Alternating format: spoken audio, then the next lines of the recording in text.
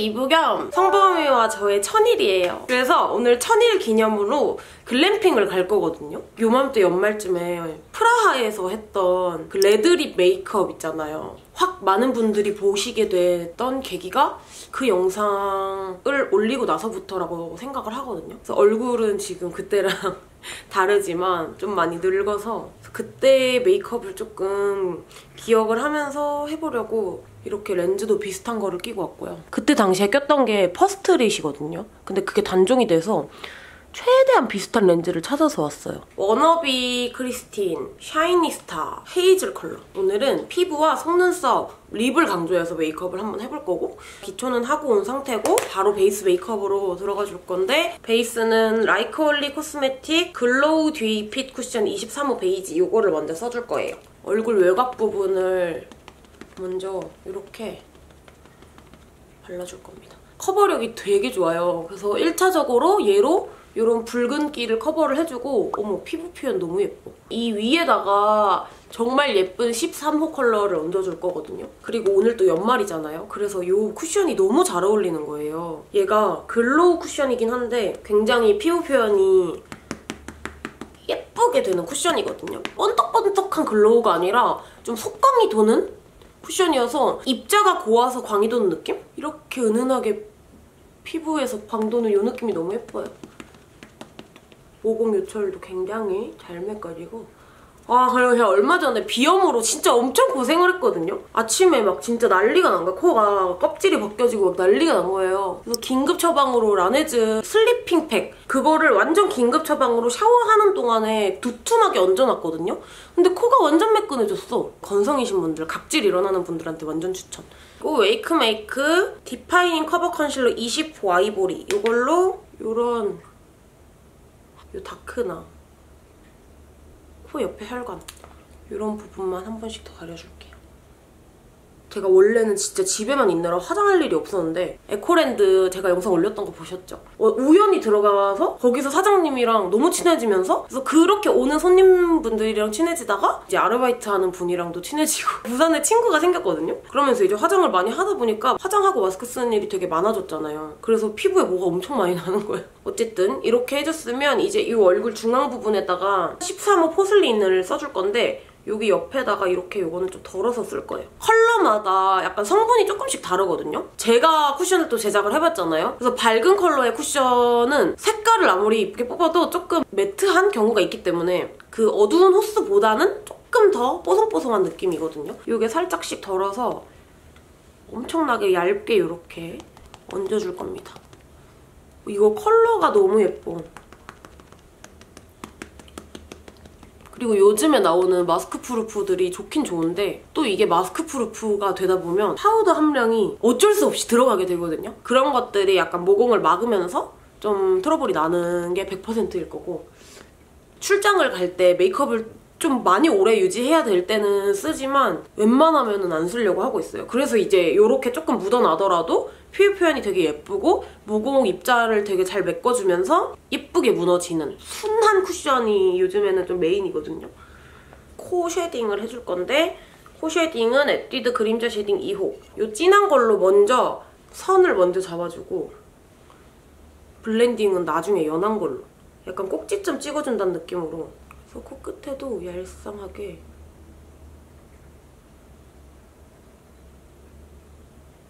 먼저 이렇게 그림을 그려줄게요. 그리고 연한 걸로 blending 해주면서 눈썹도 한번 이렇게 스쳐가지고.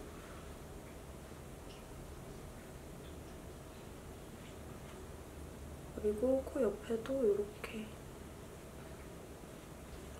이렇게 코 shading을 아주 얄쌍하게 해주고 이게 좀 과해 보이지만 결과물이 굉장히 예쁘게 나올 거기 때문에 턱 shading은 이 피부에 바른 쿠션이 조금 흡수가 되면 해주도록 할게요. brow는 정샘물 artist brow shade slim amber brown 요거 요즘 진짜 좋더라고요. 이거 내가 영상에서 한번 쓰긴 했는데 파우더 타입의 brow랑 펜슬 타입의 얇은 brow, 사선 brow 이렇게 두 개가 내장이 되어 있거든요. 그리고 이 뒤에는 screw brush. 이게 초보자분들도 너무 그리기 쉬울 것 같고 일단은 제가 좀 눈썹 그리기 귀찮은 날에 이거 한번 샥샥 해주면 끝나요. 이 파우더 타입의 brow로 눈썹의 모양 틀을 좀 전체적으로 잡아줄 건데 그 앞부분을 좀 내려서 그려줄 거예요. 그리고 여기는 올려서 이렇게 빼주고 펜슬로 남은 부분을 메꿔줍니다.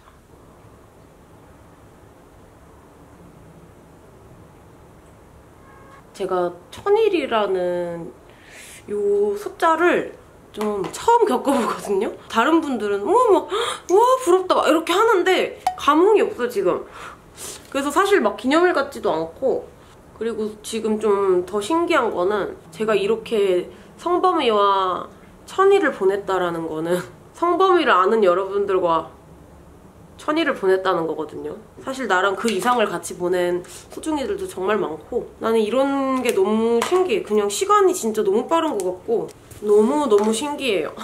범위도 내가 처음이고 내 나도 범위 처음이고 이게 천일이라는 게 솔직히 진짜 막 몇백일 막 이런 거는 많이 해봤어도 천일이 처음이어가지고 뭐 어떻게 보내야 될지 모르겠네. 아이 메이크업에서 음영을 아주 살짝만 깔아줄 건데 페리페라 올테이크 무드 팔레트 9호 이름은 차마 부끄러워서 내 입으로 말하진 못하겠는데 어 핑크 너 지금 라벤더 하는? 이라는 거거든요. 뭔가 겨울 패키지 무드로 나온 것 같은데 패키지가 너무 예쁘고 일단 이 안에 컬러들도 너무 예뻐. 그래서 여기 첫 번째 여기에 있는 이 컬러로 그때도 생각해보면은 막 아이 메이크업이 진짜 막 섀도우가 그렇게 진하지 않았던 것 같거든요. 라이너도 진짜 그냥 거의 안 하고 그림자만 줬던 것 같아. 이걸로 여기 눈 밑에도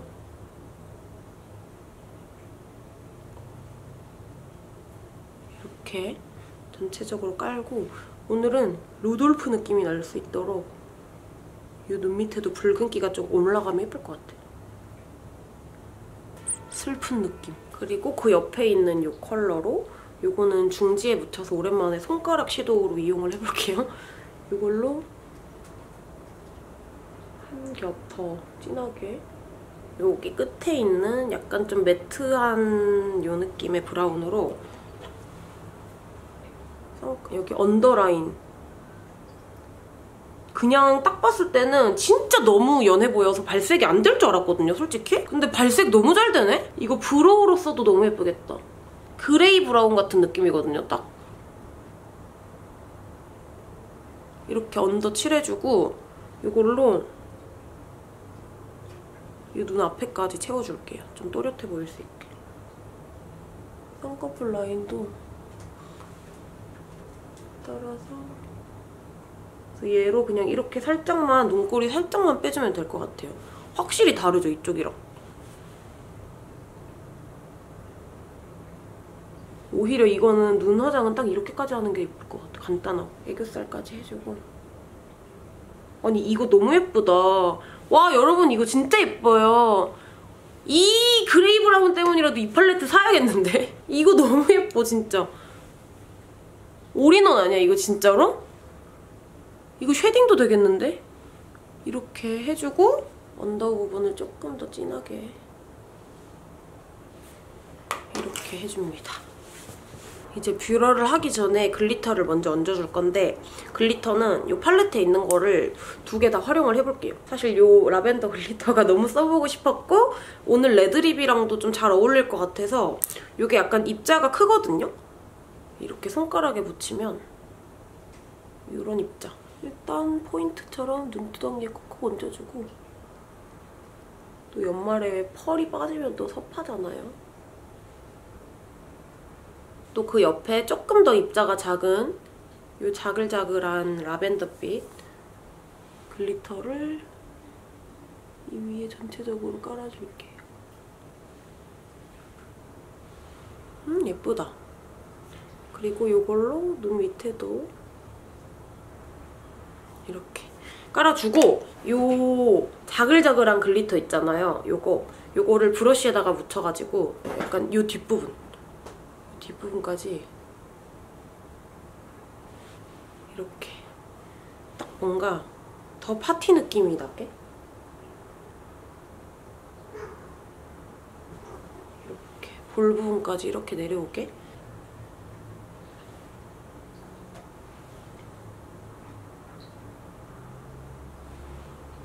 이렇게 해주고 그 옆에 또 입자 고운 라벤더 빛을 찍어서 이 위에다가 얹어줍니다. 사실 이렇게 볼에다가 얹어본 적은 없는데 얘가 입자가 되게 눈 내리는 느낌의 입자여가지고 이렇게 얹어도 너무 예뻐요. 이렇게 해줬으면 에뛰드 래쉬펌 컬 픽스 마스카라 롱앤 컬 블랙 이걸로 속눈썹을 이제 바싹 올려줄 건데 끝에만 살짝씩 모아주는 정도로 쓸 거예요. 일단 이렇게 중간 먼저 발라주고 이런 쪽집게를 이용해서 이렇게 중간중간 잡아주는 정도.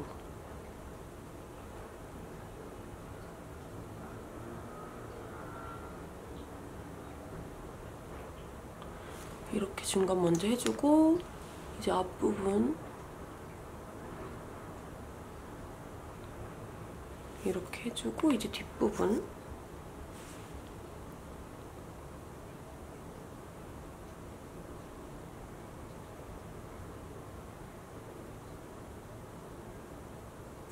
이게 발라줄 때부터 요 결방향을 잘 발라주면은 쪽집게 할 일도 그렇게 많이 없어요.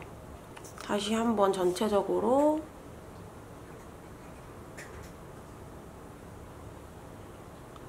손가락으로 요렇게 요렇게 끝에를 살짝씩 잡아줄 겁니다. 그러면 이렇게 짱짱하게 속눈썹이 올라가요. 반대쪽도 얼른 해주고 올게요.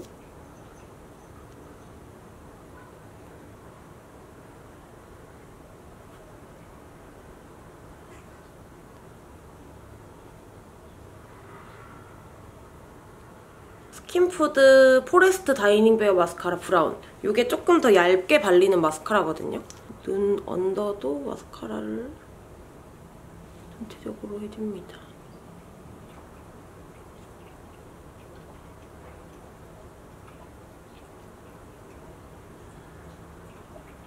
이제 블러셔를 해줄 건데 블러셔는 제가 오늘 라벤더 빛을 전체적으로 눈에 썼으니까 요 에뛰드 밀크치크 딸기우유 요 컬러를 써줄게요.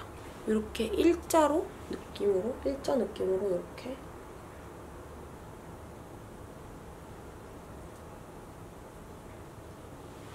코 부분까지 이렇게 이어서 해줄게요. 이렇게 코에도 이렇게 해주고 이 쉐이딩을 얼굴 외곽에다가 한 번 더 해줄게요. 색을 적절히 섞어서 턱 밑에부터 올라간다는 느낌으로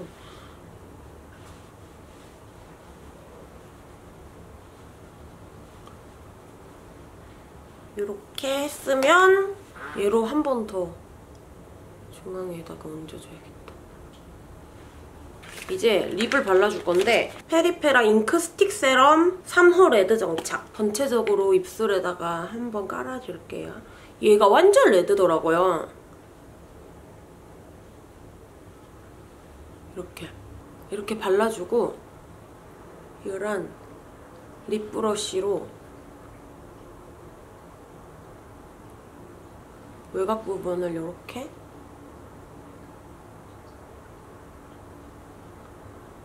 그라데이션을 줍니다. 그리고 이 립 자체가 되게 좀 광택이 도는 그런 립이어서 광택을 조금 살려둘게요.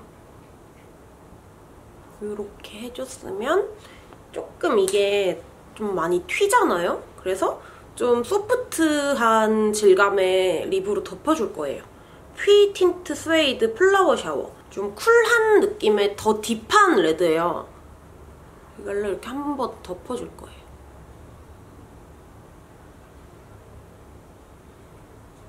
에뛰드 글라스 루즈 틴트 이브닝 모브. 한번 중화를 시켜준다는 느낌으로.